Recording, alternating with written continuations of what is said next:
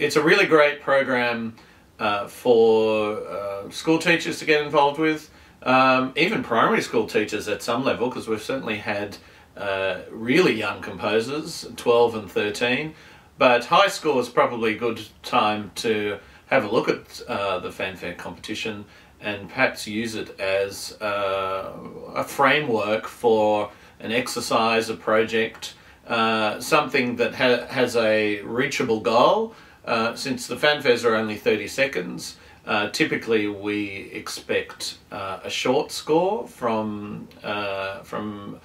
submissions, and that's something that I think most people could kind of manage.